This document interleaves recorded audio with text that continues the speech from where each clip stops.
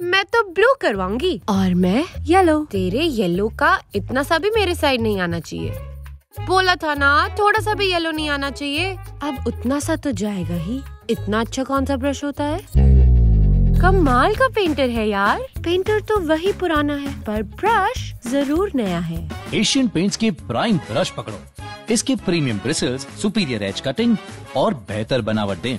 बिना निशान वाली बेहतरीन finish Asian Paints prime brush निशान नहीं फिनिश सही।